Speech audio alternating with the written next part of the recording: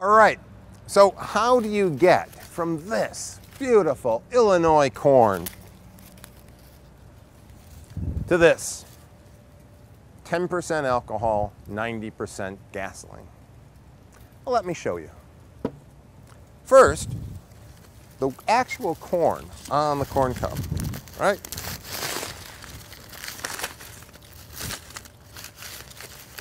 Once it's dried in the fields, the weight of this entire stalk, half of it is right here. Stalk. So once we have the corn, the nice dried corn, the next thing we need to do is we need to crush it. It's got some that's already off of the cob. There we go. Corn. Crushing. Yeah, this is gonna take a long time. All right, but hey, if you have a machine, you got some patience, right? You can actually get this stuff um, all crushed up into, you know, cornmeal. All right, so the next step after you get your crushed corn is you need to mix it with water and yeast. You see, we're going to take the starch in the corn and we're going to have the yeast eat it. Turns out that the yeast byproduct, the yeast waste product, is alcohol.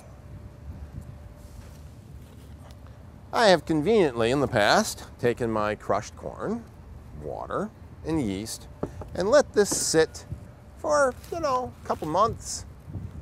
You have to worry that it also makes carbon dioxide. You got to let go of the gas out of your bottles now and then. You need to hide this from the government if you're not going to pay taxes and plan to sell it. All right, and we have these nice buried jars of corn mash. This has stopped fermenting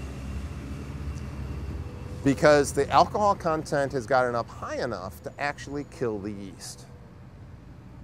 Maybe 12% alcohol, somewhere in that range. Of course, 12% alcohol is like wine, and nobody wants to drink wine instead of moonshine. So the next step is distillation. We're going to take this uh, alcohol corn mixture and try to pour out the liquid.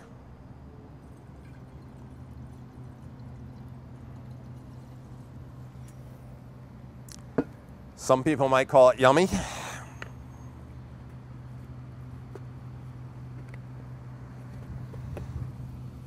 And now we're going to put it on a source of heat. Charcoal works nicely when you're outside. The key in here is that water boils at 100 degrees centigrade. Alcohol boils at 78.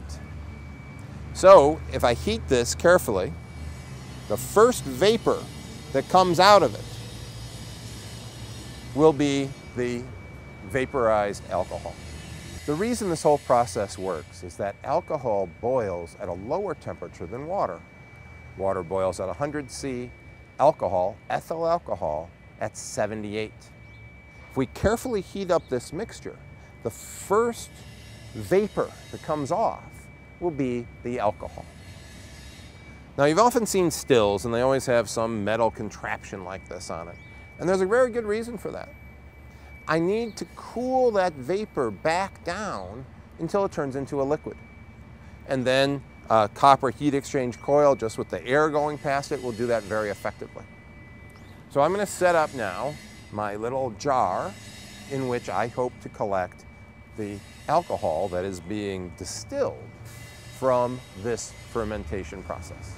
So this distillation process only gets you up to about 50% alcohol.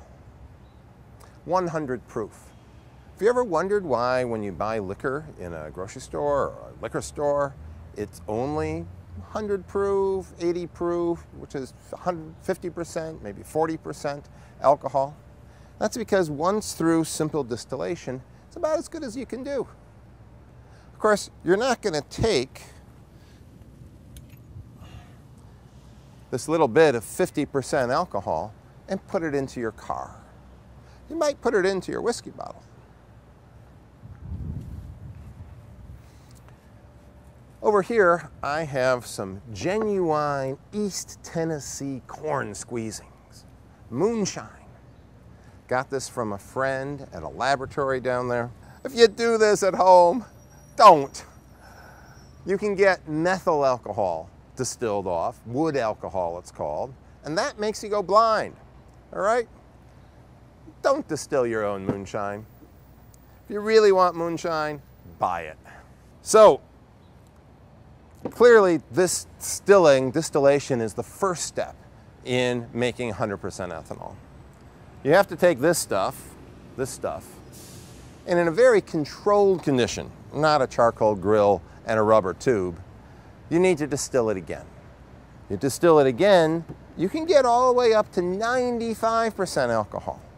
But you know, 95% alcohol, Everclear, 191, that stuff still is not good enough to run in your automobile. Still 5% water. You're not going to fill up your gas tank with 10 gallons of uh, fuel and then throw in a half gallon of water, right? So the last steps in making 100% pure ethanol is a chemical process with a drying agent. Finally, you can get the 100% alcohol and then you mix it with gasoline and you get an extremely potent extremely energetic, very capable fuel. If you think about it, just a few ounces can move a giant bus or truck many miles.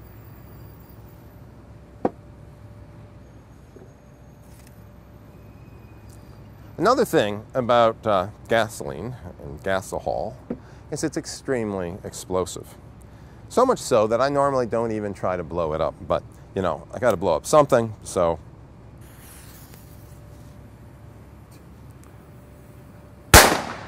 Yum.